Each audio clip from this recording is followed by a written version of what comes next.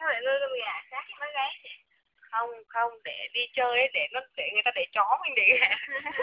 Không được gà nó cúng hết năm rồi. Một nó lột một nồi đấy hả? Có con này nở có con này nở cái cổ ra này. Vì chắc cái nồi đấy con nào cũng già rồi.